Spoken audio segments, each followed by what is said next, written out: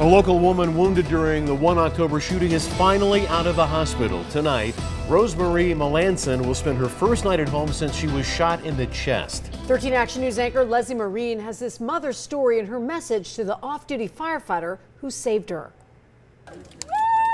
Family, friends, and 131 balloons wait outside this hospital because that's how many days Rosemarie Melanson has spent inside. Today is just overwhelming of joy and excitement. Paige, Rosemarie's daughter, has been praying for this day for months. Rosemarie has undergone countless surgeries and on life support for eight weeks. It's been an endless roller coaster ride from day one. But for a second, they put the past behind them for this moment. He's here. Mama Bear. Mama Bear's here. As Rosemarie walks out the hospital for the first time in months, she's welcomed home by cheering friends and family. But this story of recovery can't be told without the mention of one hero, an off-duty firefighter named Don. She has yet to meet him, but she knows exactly what she wants to say to him. I can't, can't wait to meet you in person.